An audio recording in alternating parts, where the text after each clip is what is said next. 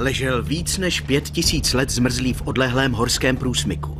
Dnes je navěky uložený v mrazničce, která se stala jeho hrobkou. Muž z ledovce, zmrazená památka z doby kamenné. Nejstarší dosud nalezené dokonale uchované pozůstatky prehistorického člověka. Posel z minulosti, který sebou přináší informace o způsobu života v době téměř tisíc let před vybudováním velkých pyramid. A také oběť smrtícího útoku, který čeká na své objasnění. Kdo to byl? A kdo ho střelil šípem dozad? Šlo o válečný střed? Nebo o vraždu? Zřídka prováděná a nebezpečná metoda pomohla odhalit překvapivé stopy. Kousek kosti, měděná sekera a poslední jídlo oběti přinášejí nové poznatky o naší dávné minulosti i o pozadí smrti muže z ledovce.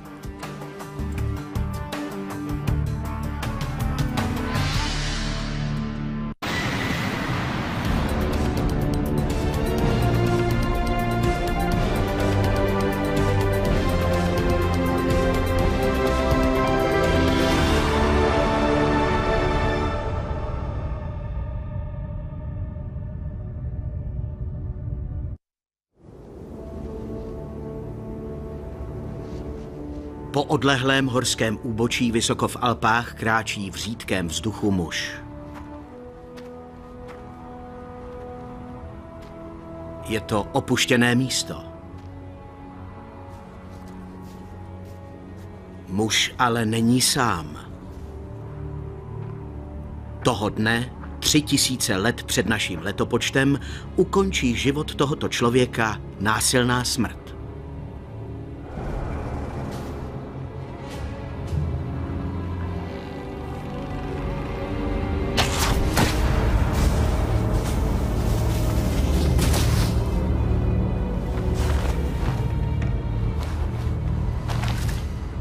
Jeho tělo zůstane ležet v horách víc než pět tisíc let.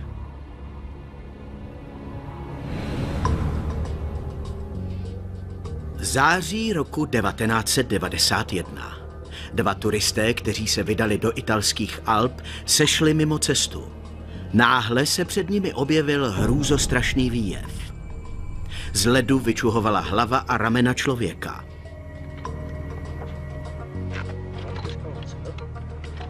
Přivolaný patolog se nejdříve domníval, že to jsou pozůstatky nešťastného turisty. Jedné z mnoha obětí, které si Alpy v průběhu let vyžádali. Tělo ale vypadalo jinak než obvykle. Nebyly na něm vidět prakticky žádné známky rozkladu. Kůže a měkké tkáně byly vysušené mrazem. Ruce, chodidla, Dokonce i oční bulvy zůstaly nedotčené. Horský vzduch a led proměnil tělo v mumii.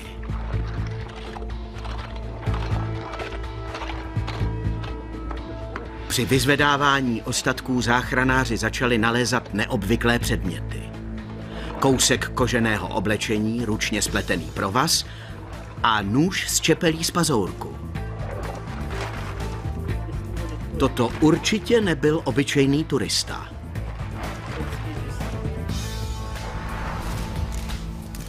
Prvotní analýza mužova vybavení naznačuje, že mrtvola je stará několik tisíc let. Z nálezu se stává celosvětová senzace. Média označují oběť jako muže z ledovce nebo mu dávají jméno Eci podle místa nálezu v Ectálských Alpách. Radiouhlíková metoda ukázala, že tento muž zemřel před pěti tisíci třemisty lety. To z mrtvoly činí nejstarší lidské pozůstatky v zachovalém stavu. Co prozrazují o naší vlastní historii? A jak tento muž zemřel? Znám neznámých důvodů se Eci vydal údolím na osudovou cestu na tento horský hřeben. Z nadmořské výšky kolem 300 metrů vystoupal do výše přes 3000 metrů. Proč? Vědci se zprvu domnívali, že se ztratil v bouři. Hromadící se důkazy ale začaly ukazovat na něco jiného. Eci zemřel násilnou smrtí.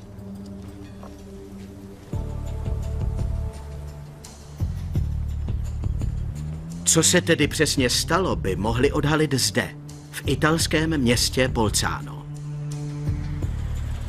50 kilometrů od místa, kde muž z ledovce zemřel, je Jihotyrolské archeologické muzeum, jehož návštěvníci se nyní mohou seznámit mimo jiné i s obětí pravděpodobně nejstaršího nevyřešeného případu vraždy na světě.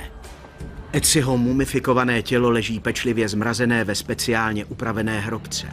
Uvnitř je stálá teplota minus 6 stupňů Celsia a relativní vlhkost 98%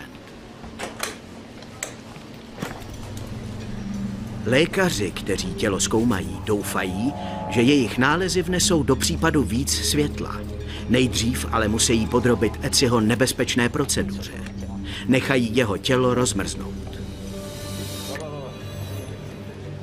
Bolcánu se schromáždilo několik špičkových vědců, aby mohli proskoumat ostatky staré více než pět tisíc let.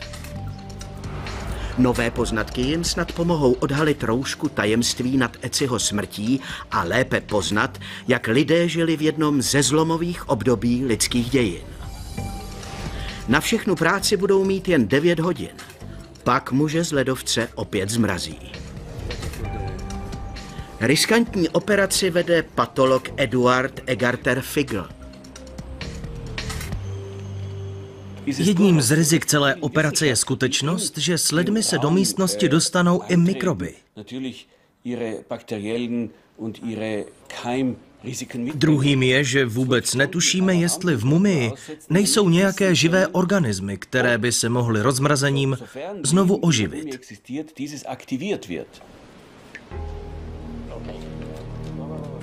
Kdyby se tělo rozmrazením poškodilo, mohla by to být obrovská ztráta. Vědci totiž doufají, že jim poskytne důležité informace o jednom z nejvýznamnějších období historie lidstva. Eci je jedinečný.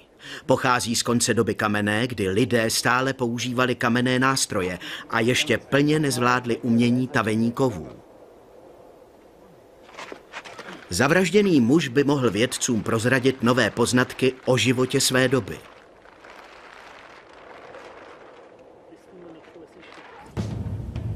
Před pěti tisíci lety neexistovaly v Evropě žádné státní útvary ani panovníci. Dokonce se tu ještě neobjevil ani vynález kola. V alpských údolích žili jen nevelké skupiny lidí v malých osadách. Teprve přednedávnem začali pěstovat obilí, pšenici a ječmen a chovat kozy, ovce a krávy. Oblastí procházeli nomáčtí lovci, jejichž přežití záviselo na lovu divoké zvěře. Hustota populace se však pomalu zvyšovala a s tím se objevovaly spory mezi lovci a prvními zemědělci. Než se v této oblasti poprvé objeví písmo, uplyne ještě tisíc let. Eciho oblečení a předměty, které se v ledovci zachovaly, by mohly poskytnout o této době důležité informace.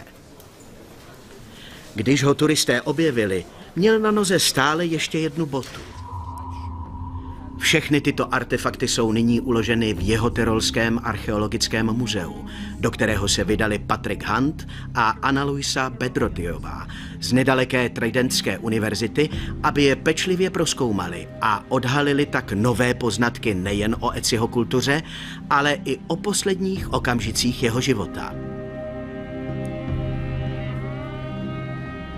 Proč sebou měl v okamžiku smrti právě tyto předměty? Boty, které jsou nejstarším exemplářem svého druhu, jsou překvapivě složitě vyrobené. K jejich výrobě byly použity nejméně tři druhy materiálu. Na první pohled vidíme seno, kůži a provazy. Není moc pravděpodobné, že by lidé doby kamenné nosili boty stále. Pokud ale Etři věděl, že bude muset vystoupat až do oblasti sněhu a ledu, je pochopitelné, že si je vzal sebou. Nalezené předměty poskytují osobní detaily o svém majiteli, ale hlavně ukazují, že výrobky doby kamenné byly překvapivě složité a kvalitní. Konstrukce patohu vystužená dřevěným rámem vypadá docela moderně. Kolem pasu měl pravděpodobně uvázaný kožený vak, který je obdobou současné ledvinky. Kousky tří druhů hub, nejspíše s léčivými účinky, sloužily jako příruční lékárnička. Javorové listy se používaly k přenášení žhavých uhlíků k rozdělání ohně. Ezio kultura znala využití velkého množství rostlin, hornin i dřev. Používali v té době optimální materiály. Výprava do hor mohla být nebezpečná. Žilo v nich poměrně velké množství vlků, divokých prasat a medvědů. Občas také docházelo k bojům mezi usedlíky a procházejícími lovci. Eci měl proto sebou zbraně. Kromě nože nesl luk a šípy. Pečlivě opracované dřevěné šípy byly uložené v toulci, nejstarším, jaký byl dosud nalezen. Hroty jsou vyrobené z pazourků s odštípanými ostrými hranami, které jsou přilepené smolou získanou z březové mízy. Na druhém konci jsou pečlivě připevněné části ptačích per, která stabilizují šíp při letu. Z nějakého záhadného důvodu ale luk a šípy nebyly plně připravené k použití. Když si prohlédnete všechny šípy, kterých bylo víc než tucet, většina z nich je nepoužitelná. Proč měl sebou tolik neúplných šípů? To je obrovská záhada. Našli ho se zbraněmi, které byly částečně nepoužitelné. To je stejné, jako kdybyste se procházeli divočinou s nenabitou puškou. Řekl bych, že si Eci musel uvědomovat, že může mít potíže. Jestliže chtěl přežít, byl to velký nedostatek. Úplně bezbraný ale nebyl. Měl sebou zbraň, která byla na svou dobu velice moderní. Měděnou sekeru. Předmět, který neustále přitahuje naši pozornost jako magnet, je měděná sekera. A to především proto, že technologie potřebná pro její výrobu daleko přesahuje všechno, s čím jsme se z té doby zatím setkali. Měděná sekera muže z ledovce znamenala pro archeology velké překvapení a donutila je částečně přehodnotit historii. Než turisté objevili Eciho, odborníci se domnívali, že obyvatelé Alp se naučili tavit měď nejdříve kolem roku 2000 před naším letopočtem. Radiouhlíkovou metodou však bylo zjištěno, že sekera muže z ledovce je mnohem starší. Znamená to, že jeho současníci už uměli rozhavit horninu obsahující měď na teplotu kolem 1100 stupňů Celsia, která je nutná k rozstavení kovů. Objev sekery také dokazuje, že tito lidé přešli z doby kamenné do doby měděné o tisíc let dříve, než se vědci domnívali. Je až neuvěřitelné, že už byli tak vyspělí. Je to jeden z nálezů, který navždy změnil naši představu o minulosti. Mysl člověka, který vyrobil tuto měděnou sekeru, je ve své podstatě stejně vyvinutá jako mysl vynálezce, který poprvé sestavil počítač nebo vyrobil desku s tištěnými spoji. Jinými slovy, Etsy byl stejný jako my. Dlouhou dobu po nálezu muže z ledovce v roce 1991 se odborníci domnívali, že umrzl v alpské bouři. Jak by se ale člověk, který tak dobře znal zdejší podmínky, mohl nechat překvapit bouří? Vědci proto hledali další stopy, které by pomohly vysvětlit jeho smrt. Eciho tělo bylo podrobeno vyšetření rentgenem a počítačovým tomografem. Našlo se několik zlomených kostí, ale nic fatálního. Teprve zhruba po deseti letech po nálezu si polcánský radiolog Paul Gostner všiml na snímcích něčeho zvláštního.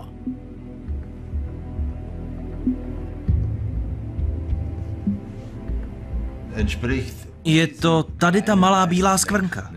Mohla by se splést se žebrem. Den weißen Fleck auch mit einer Rippe verwechseln. Je těžké si ji vůbec všimnout. Podivnou skrnku Paul Gostner našel, když znovu studoval původní rentgenové snímky. Nechal proto provést další vyšetření počítačovým tomografem a tentokrát už nebylo nejmenších pochyb. Tady je. V zádech muže z ledovce uvázl kamenný hrot šípu.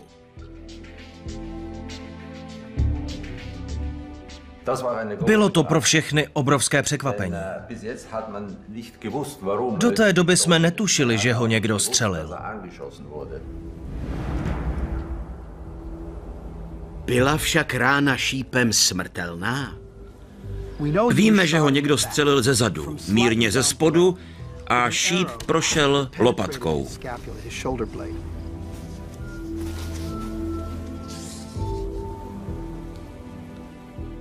Na snímku pořízeném počítačovým tomografem je patrné, že zásah byl velice účinný. Hrot šípu pronikl do podklíčkové tepny, takže Eci vykrvácel a to velice rychle. Kdo zabil muže z ledovce? A proč? Touha rozluštit tento případ přiměla vědce znovu proskoumat jeho tělo.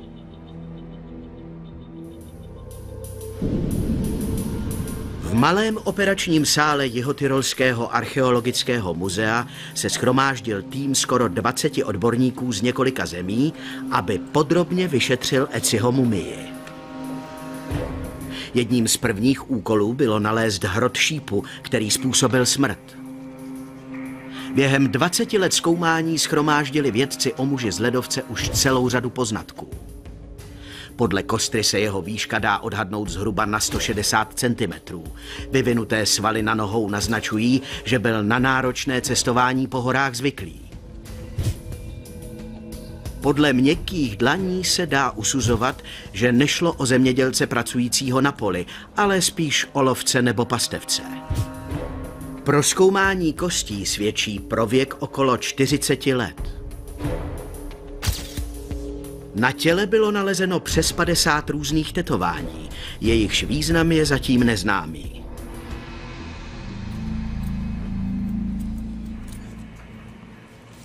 Antropolog Albert Cink je ředitelem Institutu pro mumie a muže z ledovce.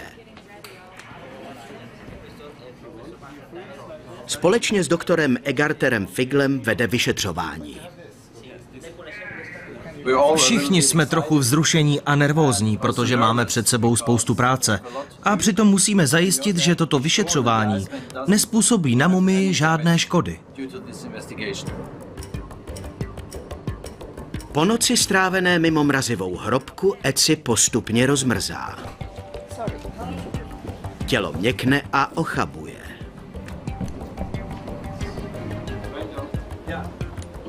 Aby nedošlo k jeho poškození, vědci je umístí do speciálního boxu. Ten jim umožní šetrně hýbat s tělem, aniž by bylo nutné měnit pozici končetin.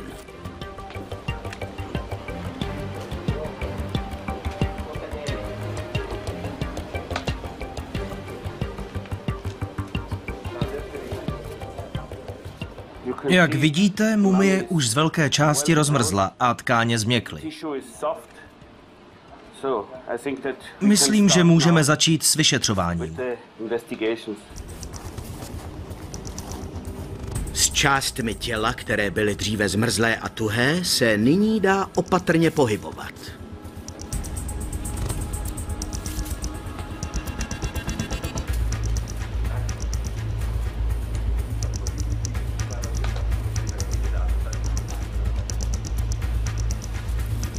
Vědci mají na zkoumání pouze 9 hodin. Každý tým proto musí přesně dodržovat časový plán.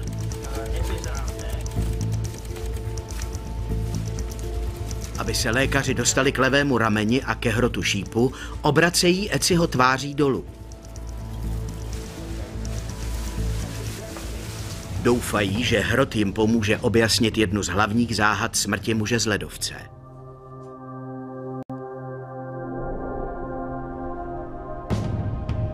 Zabili ho při potyčce s lidmi z jiné osady nebo lovecké tlupy, s nimiž jeho rod bojoval o teritorium? Nebo ho střelil dozad někdo z vlastních lidí? Třeba žárlivý sok z jeho klanu. Jedním z nálezů, který tuto myšlenku podporuje, je měděná sekera. Je na svou dobu tak dokonalá, že podle odborníků musel být Eci velmi důležitým členem své komunity. Na skalních rytinách nalezených v údolí pod místem, kde zemřel, se na několika místech objevuje přesně stejný druh sekery, což naznačuje, že tato zbraň měla velký symbolický význam. Musíme si proto položit otázku, kým byl. Proč měl u sebe tuto sekeru? Jaké postavení měl ve své komunitě?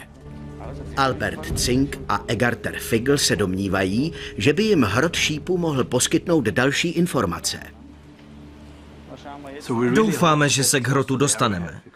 Stále je uvnitř těla a ještě jsme ho neviděli. Proto bychom se k němu chtěli dostat a přesvědčit se, jak to v tom místě vypadá. Podařilo se jim proniknout endoskopem na jeden centimetr od hrotu.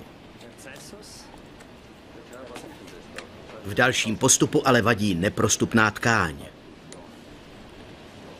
Čas neúprosně běží. Egarter Figl musí učinit důležité rozhodnutí. Lékaři zatím používali přístupovou cestu, která byla vytvořená dávno předtím, než se dozvěděli o existenci hrotu. Pokud Figl rozhodne, že začnou řezat muže z ledovce na jiném místě, určitě se k hrotu z doby kamenné dostanou. To je ale spojené s jedním závažným problémem. Figlovým úkolem je získat o muži z ledovce co nejvíc informací. Na druhé straně nesmí mumii poškodit.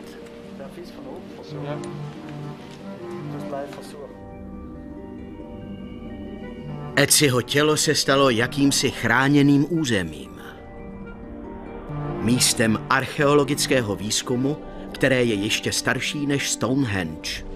Proto na něm byla přesně vyznačena místa určená pro zkoumání. Muž z ledovce není jen velmi starý nevyřešený případ. Vláda ho označila za velice cenou kulturní památku. To Figlovi brání provést řádnou pitvu. Ta by mohla značně poškodit ostatky, které přetrvaly v téměř neporušeném stavu skoro dva miliony dní. Egarter Figl a Albert Zink věnovali velkou část své kariéry zkoumání tohoto poutníka časem z doby kamenné. Nyní se znovu vydali do odlehlého průsmyku, kde Eci našel smrt. Teď před sebou vidíme svah, na kterém muže z ledovce našli.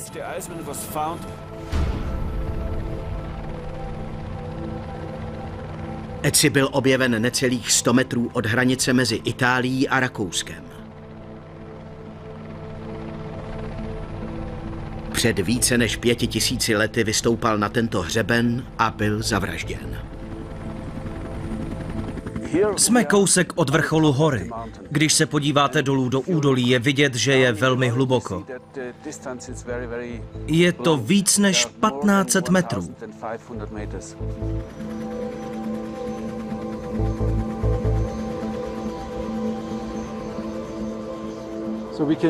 Je dobře vidět, že tu býval ledovec, který se sunul směrem dolů.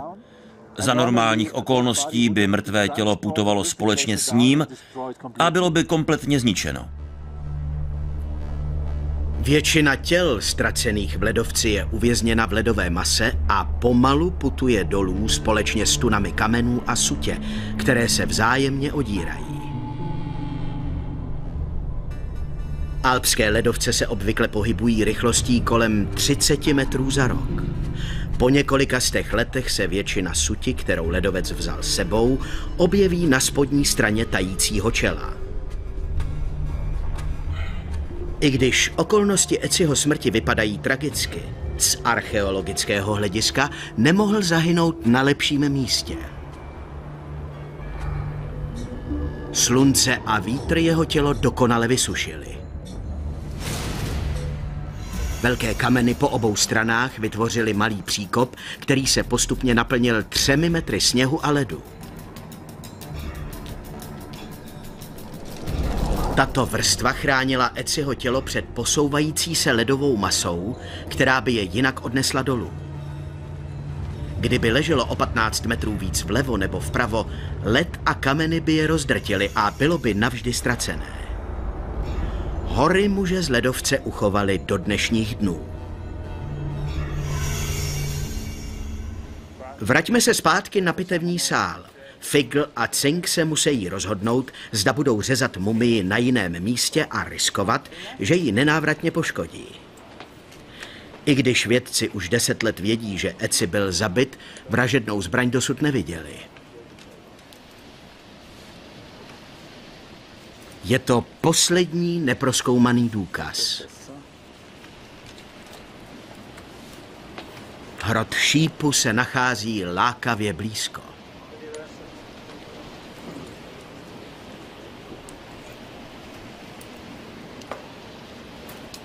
V přístupu k němu ale brání neprostupná tkáň, skrze kterou se bez poškození mumie nelze dostat.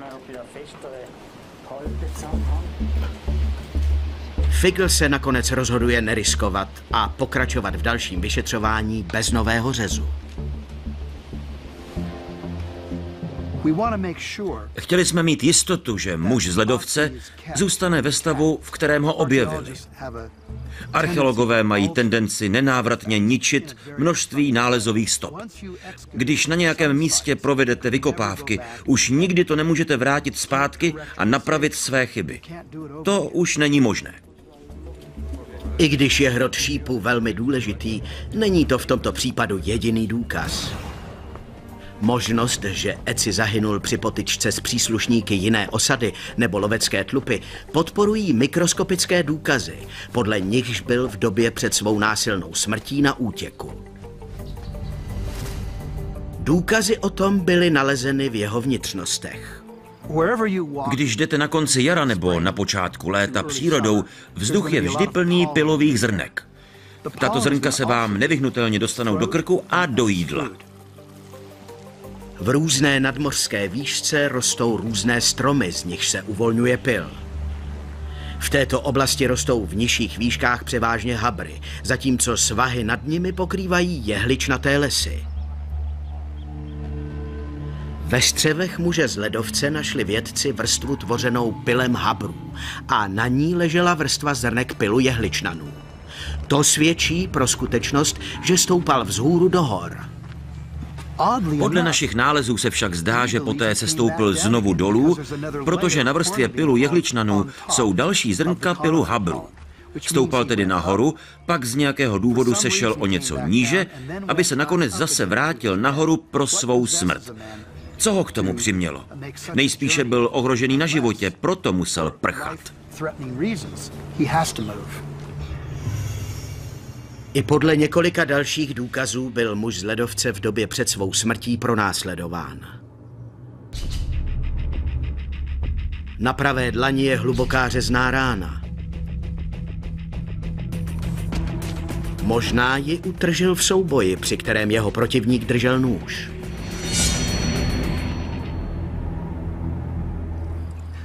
Šlo o nějakou bitvu?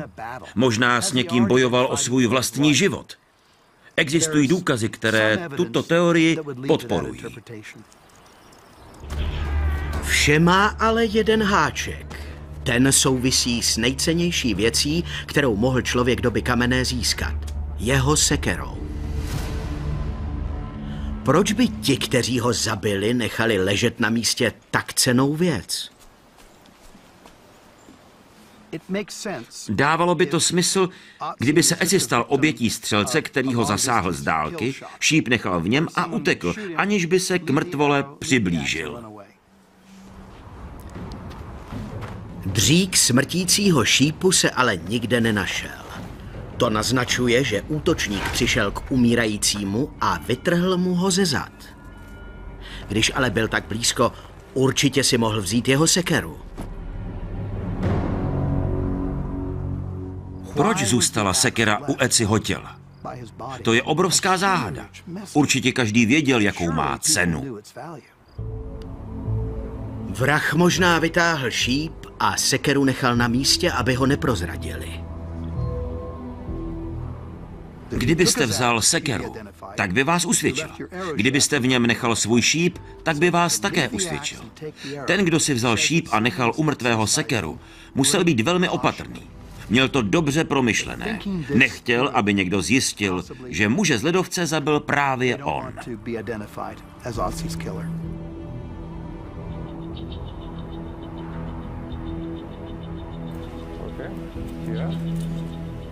Hledání stop, které by usvědčily Eciho vraha, se nyní ujímá další skupina vědců.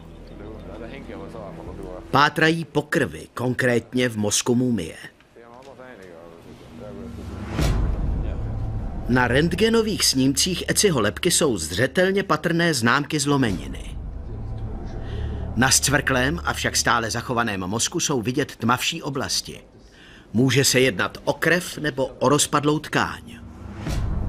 Pokud to bude krev, půjde o důkaz, že byl před smrtí udeřen tupým předmětem do hlavy. Jestliže najdeme známky krvácení, bude to důkaz, že k tomuto zranění došlo v době, kdy umíral.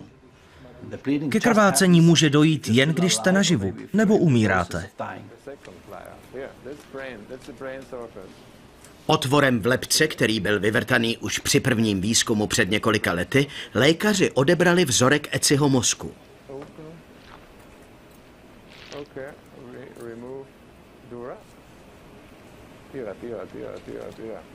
Následné vyšetření v laboratoři prokázalo, že v mozkové tkáni je krev.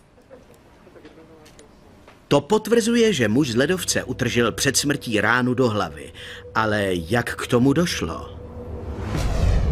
Buď ho vrak zblízka dorazil,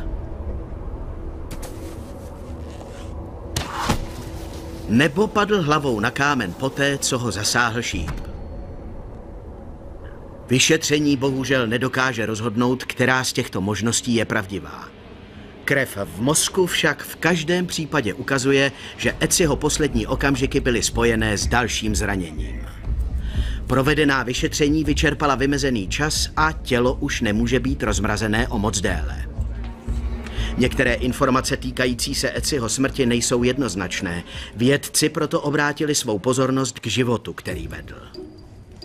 Měděná sekera naznačuje, že byl významnou osobou.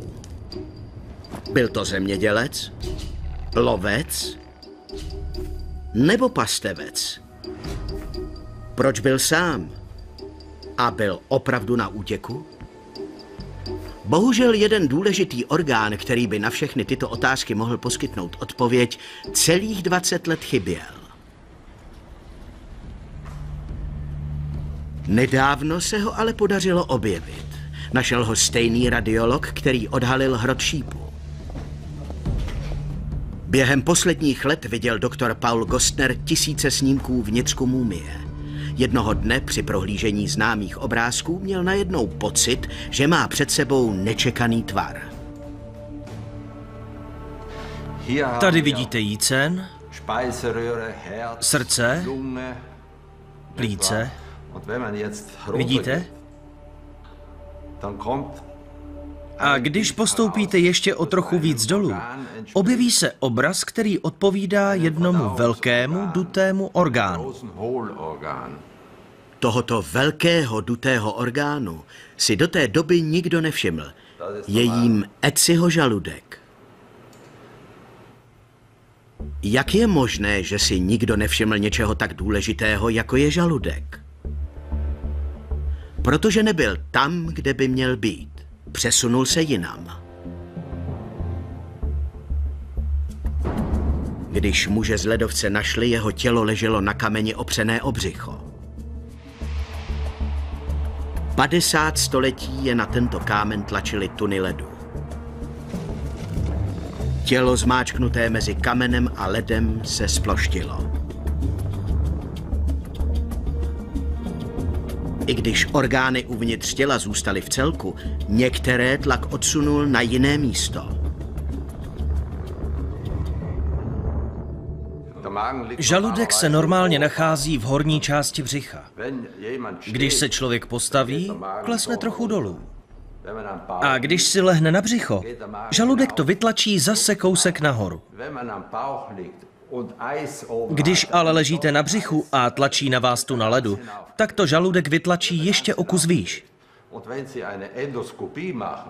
A vy ho nevidíte, protože je příliš nahoře. Tým lékařů určených k vyšetření žaludku se nejdříve do něj snaží dostat obvyklým způsobem. Zasouvají endoskop mezi Eciho zuby a postupují ústní dutinou dolů do krku.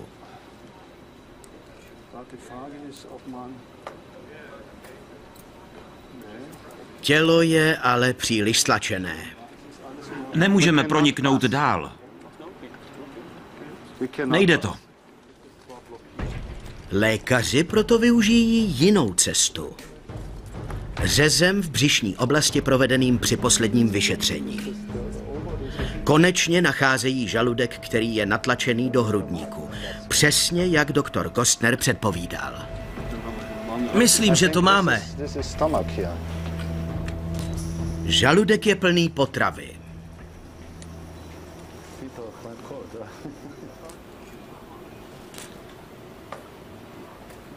Je tvořena obilninami, tukem a masem.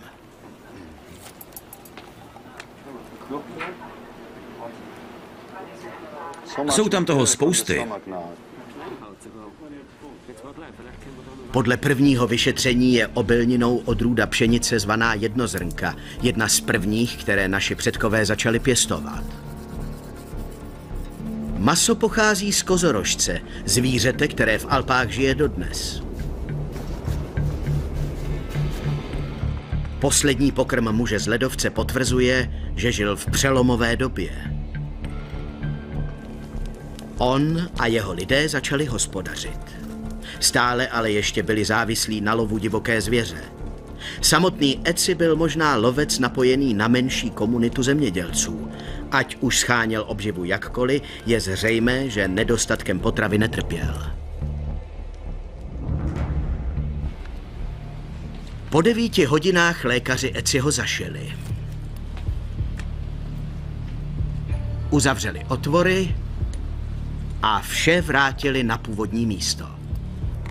Během dne odebrali 149 biologických vzorků. Dostatečné množství, aby měli vědci v následujících letech co dělat. Nejdůležitější ze všech možná budou ampulky obsahující Eciho DNA.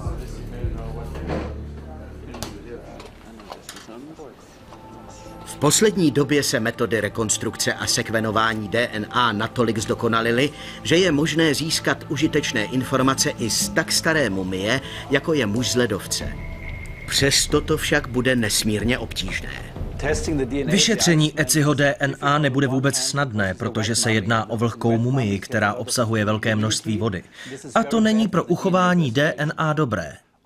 Na druhé straně zmrzl před více než pěti tisíci lety, což je příznivá okolnost, protože chlad DNA chrání. Pokud se podaří zrekonstruovat fragmenty Eciho DNA, vědci doufají, že tak získají informace o jeho barvě očí, prodělaných chorobách a mutacích.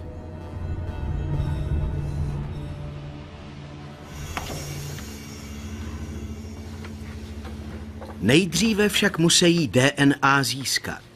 Vše začíná postupem o několika krocích, který určí, jestli je to vůbec proveditelné. Pro Angelu Gréfenovou z výzkumné laboratoře Alberta Cinka je sestavení genetického profilu muže z ledovce životní příležitost. Vždycky jsem se zajímala o mumie. A každý z nás sní, že se mu jednou naskytne příležitost pracovat s tak slavnou mumií. Vzácný vzorek Eciho kosti se nejdříve rozřeže pilou s diamantovými hroty na menší kousky.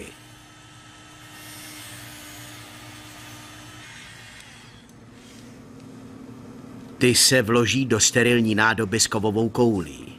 Nádoba se velkou rychlostí protřepe a koule rozdrtí kostěnou tkáň na prach obsahující jednotlivé buňky.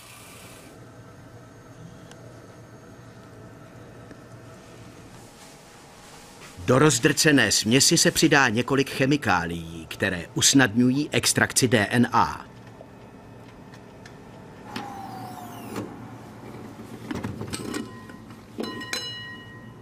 Po několika dnech Gréfenová získává vodu a zlatě zbarvenou čistou DNA. Vzorky poté putují z italského Bolcána do laboratoře nedaleko amerického Bostonu, která se specializuje na rekonstrukci DNA. Stará DNA se od nedávno vytvořené DNA liší v několika ohledech. Jedním z problémů u starých vzorků je kontaminace. Ke kontaminaci dochází, když se z DNA, kterou chceme zrekonstruovat, smíchá DNA pocházející z vnějšího zdroje, například z mikrobů nebo lidí. V průběhu let se mumie dotklo velké množství osob, které na ní mohly zanechat svou DNA. Cink a Figl proto odebírají vzorky z vnitřku Eciho kostí. Doufají, že vnější vrstva působila jako přirozená ochrana, která zabránila kontaminaci vnitřku. Díky pečlivě provedenému odběru vzorků je DNA téměř čistá. 97% patří Ecimu.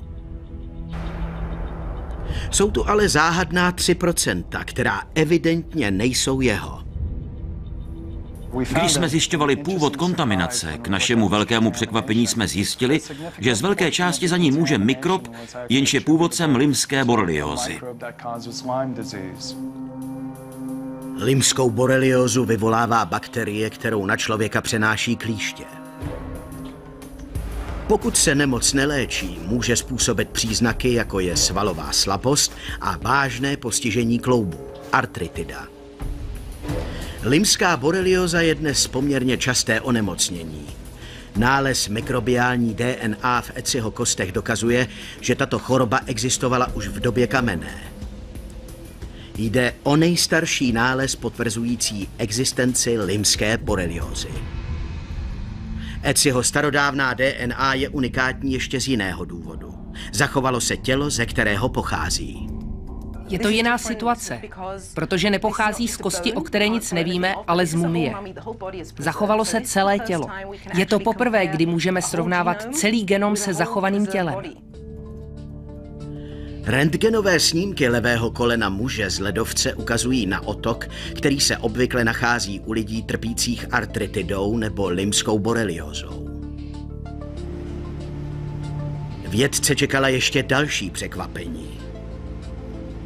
Po pečlivém zrekonstruování 98% DNA se začaly objevovat detaily doplňující celkový obraz.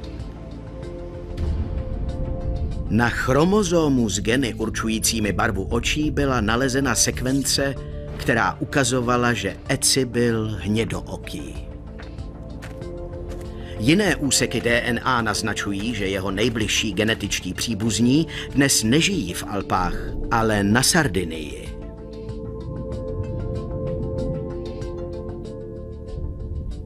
Vědci také zjistili, že limská borelioza nebyla jedinou nemocí muže z ledovce, kterou sdílel s lidmi z 21. století. Když jsme sestavovali celý genom, čekalo nás další překvapení.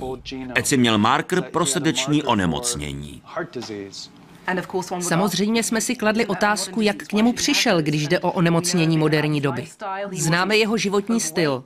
Netrpěl nadváhou, nebyl líný, neležel celý den na gauči. Kde se to tedy u něj vzalo?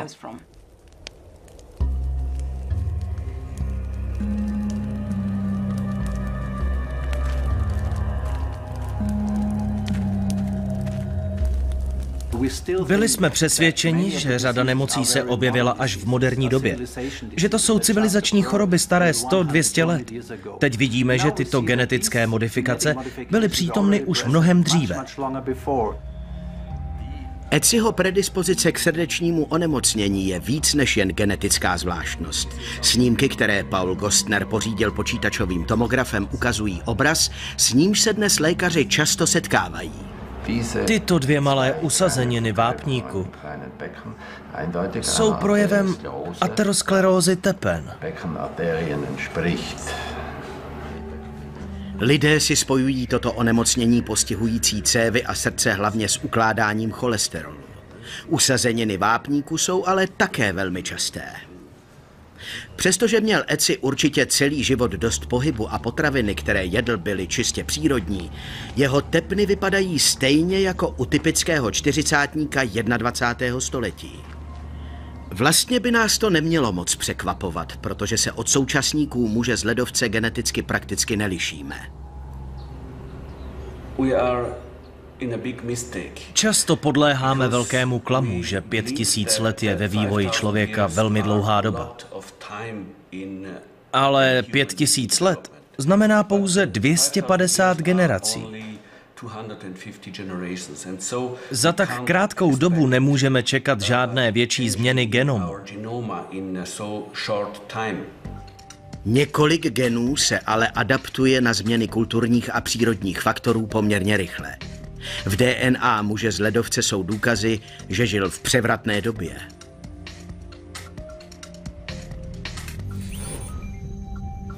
Jeho geny naznačují, že trpěl nesnášenlivostí laktózy. Jako dospělý nedokázal dobře trávit mléko. Tento stav je podle mnohých důsledkem choroby nebo alergie. Je zřejmé, že se mílí. Mnoho lidí si myslí, že nesnášenlivost laktózy je nemoc, ale tak tomu není. Je to vlastně původní stav člověka. V době kamenné všichni lidé nesnášeli laktózu. V pravěku každý člověk dokázal trávit mléko jako malé dítě. Tuto schopnost ale s věkem postupně ztratil. Přesně to se stalo Ecimu. Nicméně zhruba v době, kdy žil, se objevily mutace, které umožnily některým dospělým pít mléko.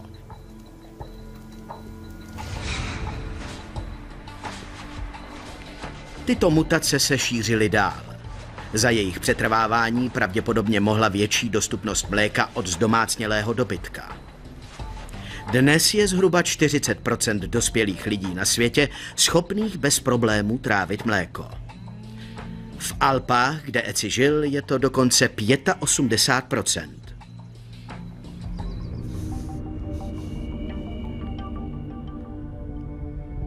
Analýza DNA ukazuje, že muž z ledovce žil v době výrazných změn. To nám ale moc nepomůže při řešení hádanky, jak zemřel. Stále zůstávají nezodpovězené otázky, co dělal vysoko v horách a proč byl zavražděn.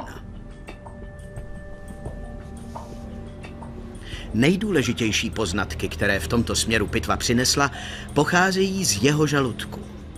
Vyšetření obsahu ukázalo, že jeho stravu tvořila vyvážená směs masa a obilovin. Nejdůležitější informaci nám ale prozrazuje její množství. Lékaři při pitvě vyndali z žaludku přes 10 dekagramů potravy a zhruba stejné množství v něm nechali. Potrava zůstává v lidském žaludku v průměru okolo jedné hodiny. To znamená, že Eci krátce před svou smrtí snědl poměrně velkou porci jídla. To nevypadá na chování člověka, který je na útěku, protože ho po Alpách honí nepřátelé. Myslím, že to zásadně mění celkový obraz. Cítil se v bezpečí, před nikým neutíkal. Nedokážu si jinak představit, že by se klidně posadil a dal si pořádné jídlo. Co nám to říká o způsobu Eciho smrti? Poskládejme si nyní všechny důkazy. Chybějící šíp, krvácení do mozku, cenná sekera, která zůstala na místě a plný žaludek. Cink a Figl se domnívají, že rozhodující je právě poslední důkaz. Jsou přesvědčeni, že muže z ledovce zabil někdo, koho znal, nejspíše člen jeho vlastní komunity.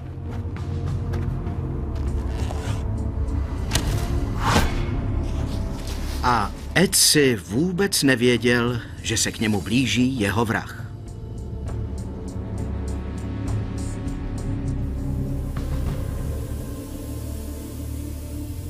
Vyšetřování je u konce. Všechny potřebné vzorky byly odebrány, vědci se rozjeli do svých domovů. Egarter Figl připravuje tělo k opětovnému zmrazení. V této chvíli jsem s mumií sám. Je přirozené, že se vám rozletí myšlenky a přestanete myslet jen na vědu. Uvědomíte si, že to byl skutečný člověk, který žil před více než pěti tisíci lety. Co mi říká jeho tvář? Co mi říká pozice jeho těla? Potom začnu přemýšlet o smrtelnosti člověka a cítím, nakolik jsem s ním spojen.